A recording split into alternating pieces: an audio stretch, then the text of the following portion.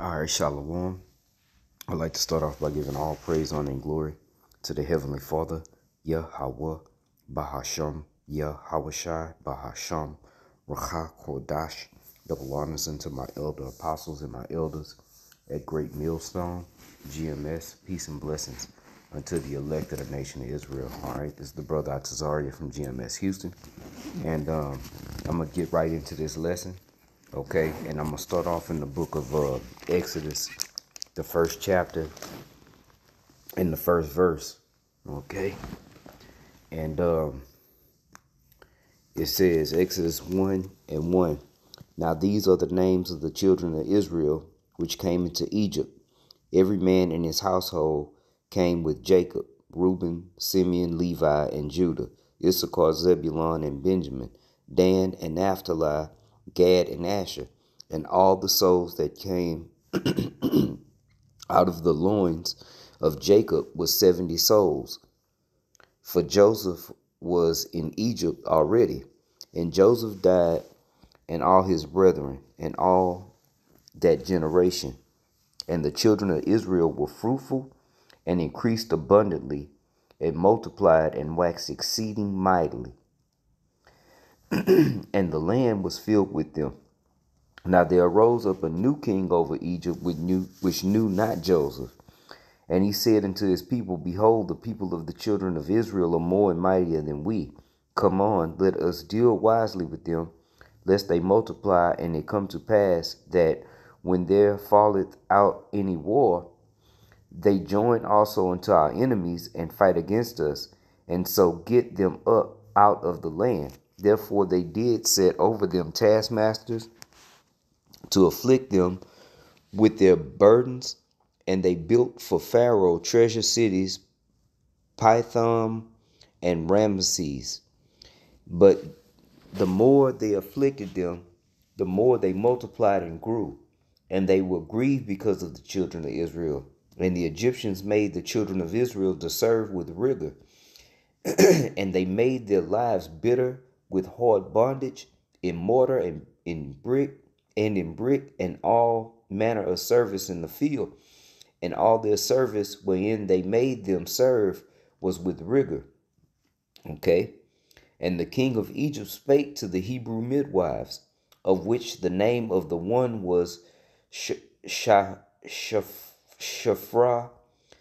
and the name of the other was Puah. And he said, When ye do the office of a midwife to the Hebrew women, okay, when you helping them give birth, all right, and see them upon the stools, if it be a son, then ye shall kill him. But if it be a daughter, then she shall live. Okay. And um, the reason why I'm bringing this out, okay, is because they said, let us deal wisely with the children of Israel. Now, I had this article right here pulled up, okay? And this is from uh, End Time Headline News. It says, Watch, mega church pastor Creflo Dollar welcomes and promotes Georgia Democratic nominee for governor who supports abortion. Her. Look like she belonged on a, a, a box of, of uh, cereal, okay? Or a box of uh, pancake mix, man. Okay? Stacey Abrams. Okay? You can't get her to quit smiling. And you, as we see, she's running for uh, uh, governor of Georgia. Okay? And who's who's welcoming and promoting her? Creflo Dollar, okay, a so-called man of the Lord, a so-called pastor, okay, and we see what she's about. And see the reason why I'm bringing out this scripture because this is again the Egyptians dealing wisely with the children of Israel, man. Okay, let us get some some uh shoe shucking, shoe shuffling, shoe shine Negroes in office, okay, and and, and set up these false pastors, okay, so we can further our agenda in keeping these people under wraps, okay. And this is modern day Egypt all over again. As a matter of fact, let me get a scripture. Let's go to the book of Revelation. All right.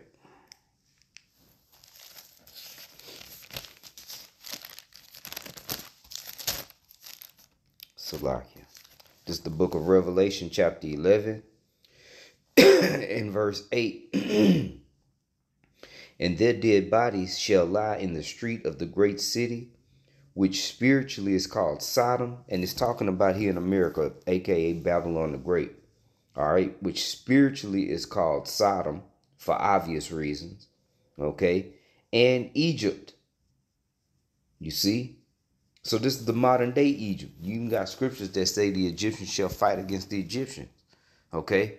That's talking about these Babylonians, man. Okay? This is modern day Egypt. Okay? It says, and their dead bodies, okay, spiritually dead, man. Okay?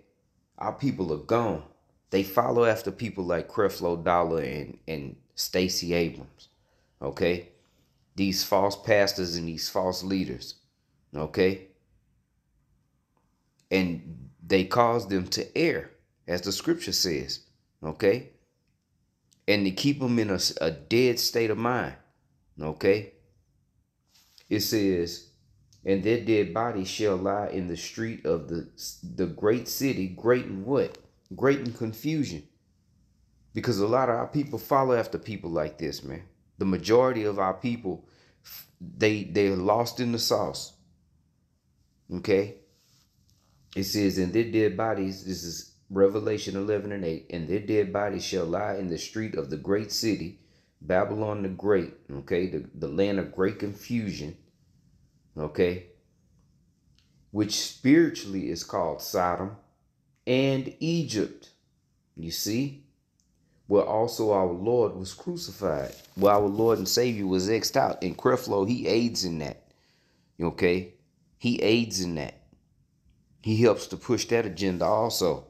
But going back to the to the uh the subject at hand, that's these Egyptians dealing wisely with the children of Israel.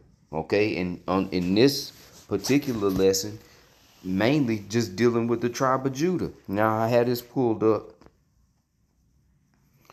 right here. And this is a, a demographics of abortions throughout the United States. Okay, it says non-Hispanic white women had the lowest abortion rate, 6.6 abortions per 1,000 women, and ratio 117 abortions per 1,000 live births. And non-Hispanic black women had the highest abortion rate, 23.8 abortions per 1,000 women, and ratio 386 abortions per 1,000 live births. That's crazy, man. That is crazy. But again, when you go to the hood, what do you see? Planned Parenthood, okay? You see uh of course, CVS's and Walgreens. And what do they go get out of there? Plan B's. Okay. And that's these Egyptians, again, dealing wisely with us, meaning trying to keep us low in number. Okay. They're trying to wipe us out. Now, let me bring out another scripture I got it pulled up right here. This is Psalms 83 and 4. It says, They have said, okay, our enemies, they have said, Come and let us cut them off from being a nation, that the name of Israel may be no more in remembrance. You see? Because when you go back to the account in Exodus, they wanted to kill all the males. You see? Because they know that the male carries the seed. Oh, well, we'll kill all the males and we'll breed them out. But see, the Lord said he wasn't going to do away with us. Okay? And now, here it is. We're at the ends. Because see, Esau wanted to get, a, get rid of us. Okay? so because he's jealous that we got the birthright. Okay. So here it says Psalms 83 and 4. I'm gonna read this again. They have said, Come and let us cut them off. That's what they've always tried to do. Cut us off. You see? They tried to cut us off from being a nation. Okay, they oppress a man in his house, even a man in his heritage. But see, now we're at the end, and the truth is gone out. You see, St. Matthew 24 and uh, 14, if I'm not mistaken. Okay, and now it's a wrap for you, Esau. But you you gave it the old good the old college try, man. But to no avail.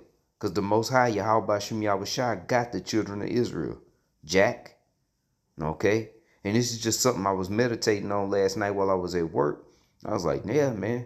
They've always tried to deal wisely with us. And they always set up people of our own nation, okay, to lead our people astray, to get our women into these uh, abortion clinics, to to to have these false pastors leading and and and uh, upholding this type of behavior.